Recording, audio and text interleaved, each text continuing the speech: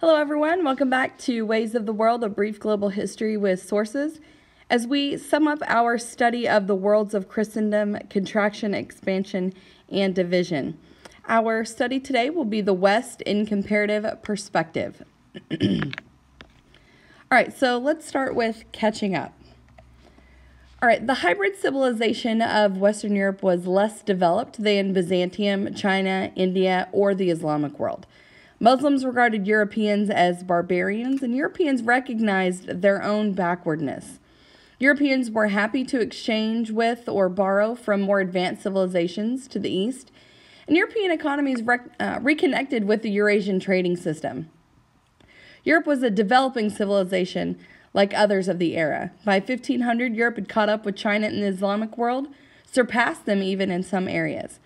And from 500 to 1300, that was a period of great innovation in terms of agriculture, uh, new reliance on non animal sources of energy, uh, technological borrowing for warfare with even further development, and Europe developed a passion for technology.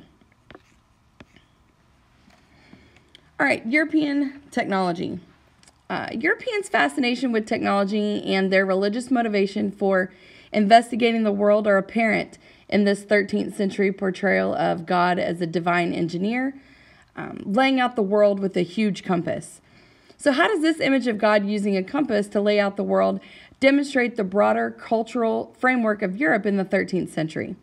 Well, the image demonstrates how Europeans attempted to apply rational thought, epitomized by the compass and the portrayal of God as a divine engineer, to theology, the quote unquote queen of the sciences. European thinkers sought to use logic, philosophy, and rationalism in the service of Christ. Excuse me.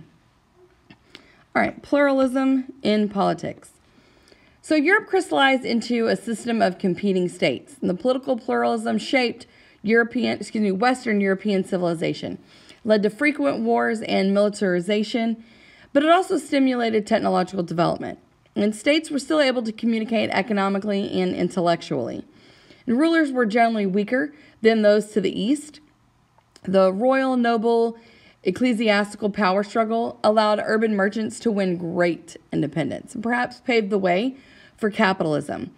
And the development of representative institutions uh, like uh, parliaments. All right, reason and faith. Now, there's a distinctive intellectual tension between faith and reason that developed. Uh, intellectual faith flourished in the centuries after 1000. And there's a creation of universities from earlier cathedral schools, and scholars had some intellectual freedom at universities. And within these universities, some scholars began to emphasize the ability of human reason to understand divine mysteries. Um, they also applied reason to law, medicine, and the world of nature. And there's the development of quote unquote natural philosophy, which is the scientific study of nature. And there's also a search for the classical Greek texts, especially Aristotle, and they were found in Byzantium and the Islamic world. In the 12th thir- through the 12th and 13th centuries, um, the, they had access to these ancient Greek and Arab scholarship writings and manuscripts.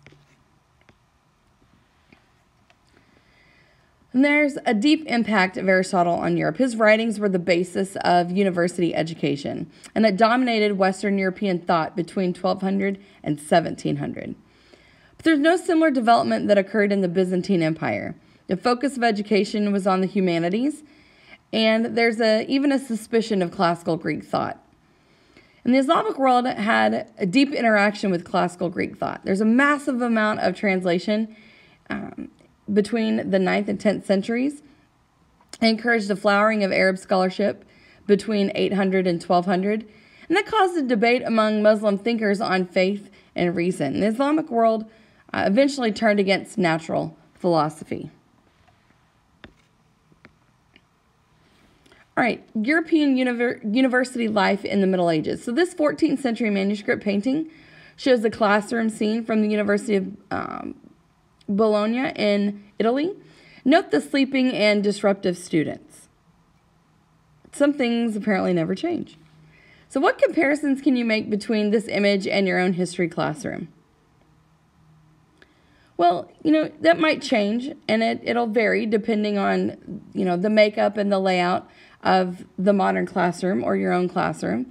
But you should note that one teacher is leading students, some of whom are disinterested, through the use of written material. Um, and we've done that frequently in our class, albeit uh, there's a lot less lecture. Now, they you might also note that all of the students are male, which is significantly different than your classroom today. All right, uh, this is the Lindisfarne Gospel. Uh, monks viewed the copying of holy works as acts of faith and piety. And with this in mind, why might Eadfrith, um, the monk that wrote this, have so elaborately decorated his manuscript? Well, this is the opening page of a gospel which relates the life of Christ. So the gospels are the foundational books of the New Testament and thus would likely have been one of the most elaborately decorated. Moreover, the time and effort put into this illuminated manuscript created over the course of oh, 20, 23 years, was a poignant display of Eadfrith's religious devotion. In what ways was, was this page an example of cultural syncretism in 7th century Europe? Well, uses pre Christian Celtic and Germanic symbolism in its patterns, swirls, and animals to relate to a Christian message. Let's talk about the purpose of the document. How might the incorporation of Celtic and Germanic artistic styles have widened the appeal of this Christian text?